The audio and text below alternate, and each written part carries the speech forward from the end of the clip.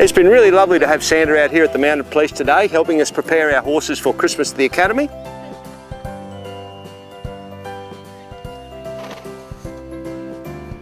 And a couple of police officers and their horses look forward to seeing you all at the Academy on Saturday the 10th of December between 4 and 7 for a lovely afternoon's entertainment.